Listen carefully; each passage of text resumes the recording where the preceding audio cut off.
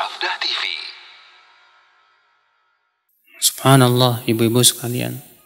Dalam hadis juga disebutkan ya. Dari hadis Abu Hurairah Rasulullah SAW bersabda qama fina Rasulullah SAW zata yaumin fadzakara al-ghulul fa'azzamahu wa 'azzama amrah. Rasulullah, Rasulullah SAW satu hari pernah berdiri lalu menyebutkan tentang gulul. Gulul itu artinya ya mengambil harta gonimah yang belum dibagikan. Dan gulul juga dimutlakan bu kepada ya khianat. Maka Rasulullah pun menganggapnya ini besar, agung. Lalu Rasulullah bersabda, La ulfiyanna ahadakum yaji yawmal qiyamah ala raqabati ba'irun lahu. Yaqulu ya Rasulullah aghithni. Faqulu fa'aqul. La amliku laka syai'an qad ablagtuk. Aku akan dapatkan nanti salah seorang, jangan sampai ada seorang pun yang aku dapatkan nanti pada hari kiamat. Dia membawa di atas pundaknya untanya, sementara unta itu bersuara. Lalu dia berkata, wahai Rasulullah tolong aku. Ya, gara-gara dia tidak mengeluarkan zakat un, untanya itu. Apa kata Rasulullah nanti pada hari kiamat? aku tidak bisa membela kamu. Aku sudah sampaikan kepada kamu.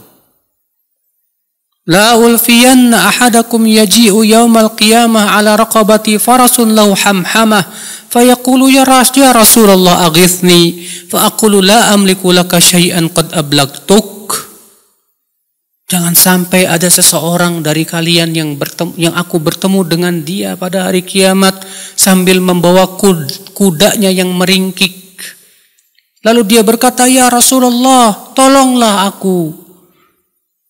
Maka aku akan berkata, "Aku tidak bisa menolong kamu. Aku sudah sampaikan kepada kamu." Iya. Namun ibu-ibu, untuk kuda, ya, telah ada dalil-dalil yang sahih, yang rajih, bahwasannya kuda itu tidak ada zakatnya. Makanya tambahan kuda ini disangsikan oleh banyak ulama. Ya. Nah ini ibu-ibu, jadi orang-orang yang nggak mengeluarkan zakatnya, orang yang nggak mengeluarkan zakat untanya, sapinya, kambingnya, kelak nanti binatang-binatang itu bu akan menyiksa dia, menanduk-nanduk dia, menginjak-injak dia. Orang yang punya emas, perak, uang, tidak dikeluarkan zakatnya, kelak itu jadi-jadikan oleh Allah setrikaan ibu uh, di, di padang mahsyar itu. Karena orang yang tidak mengeluarkan zakat itu bu, disiknya, di, disisa, disiksanya di dua tempat. Tempat yang pertama di padang mahsyar. Tempat yang kedua dalam api neraka. Aduh, di padang masyar sebelum diputuskan oleh Allah sudah disiksa. Di padang masyar orang yang punya emas, perak, uang, nggak dikeluarkan zakatnya kata Rasulullah apa? Akan berubah menjadi ular yang sangat beracun sekali. Yang akan membelit dia dan mematuk-matuk dia. Lalu mereka berkata kepada Rasulullah, Hai Rasulullah tolong aku. Apa kata Rasulullah? Aku nggak bisa tolong kamu. Aku sudah sampaikan kepada kamu. Iya. Ternyata Rasulullah nggak bisa menolong, Bu. Udah tahu riba haram. Rasulullah sudah menyampaikan kepada kita riba, dimakan juga. Ya.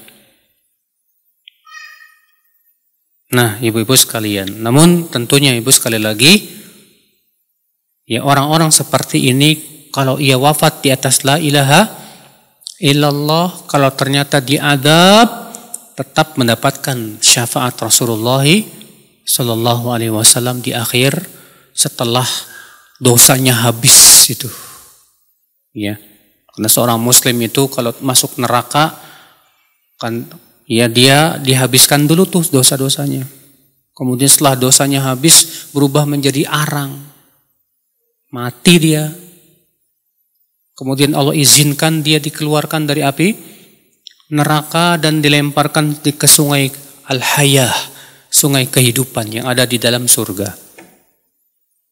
Lalu ia pun tumbuhlah ibu-ibu sekalian. Masya Allah. Ya. Nah ini ibu-ibu ya, jadi sedekat apa pun kita dengan orang soleh, karena ibu temannya orang soleh misalnya, karena sebagian orang mengatakan mencukupkan diri punya teman orang soleh. Dengan alasan nanti apa?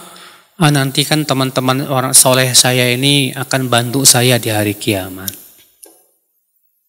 Kita katakan, akhi, percuma punya teman soleh kalau kamu tidak menyelamatkan diri sendiri.